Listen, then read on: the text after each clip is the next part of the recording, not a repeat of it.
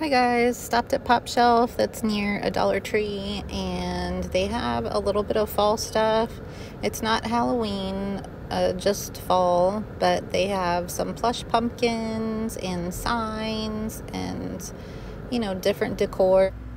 So I'm just seeing more and more fall and Halloween stuff out places. I've seen little bits of Halloween at a Marshalls, a TJ Maxx, some Dollar Trees so, yeah, keep your eyes open if you're on the Halloween hunt already. That's a squirrel with a nut. I couldn't tell what it was at first. So, they have some ribbon, you know, a welcome mat. Just like some of the basics to get you started if you just can't wait to get some fall stuff.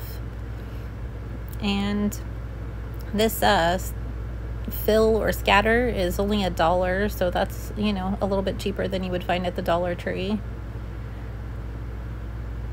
And they have some wreaths and just, you know, just the basics. So if you have a pop shelf near you and, and you want to start your fall shopping, make sure you stop in and take a look. Don't forget to like and subscribe. Your support really means a lot to me.